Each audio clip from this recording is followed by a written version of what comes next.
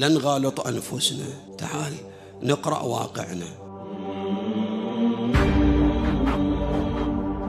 الإمام صلوات الله وسلامه عليه من يجي يفتش في أنصاره ما مفروض أن واحد من أنصاره لديه خلاف مع أبيه أو مع أمه أو مع أحد إخوانه أو جيرانه أو أحد من المؤمنين. لا نغالط أنفسنا.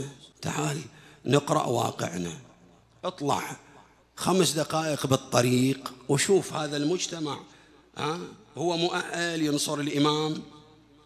ما قادرين نتحمل أنفسنا. ما قادرين نتحمل بعضنا بعض. اتركنا من الطريق. هذا يعاند هذا وهذا ما يخلي هذا يطوف وهذا كذا. تعال إلى علاقاتنا الخاصة. هذا ليش غاضب من أبيه حتى لو كان أبوك عاصيا حتى لو كان أبوك ظالما.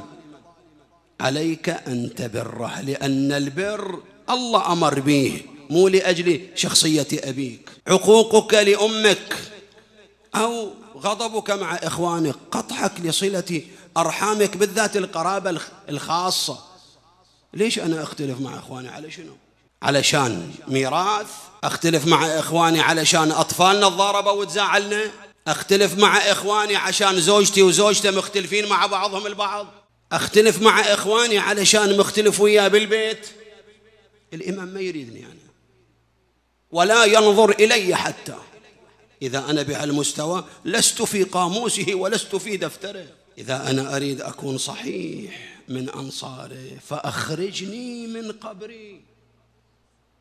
مؤتزرا كفني شاهرا سيفي مجردا قناتي بس كلام. بس حكي. لا.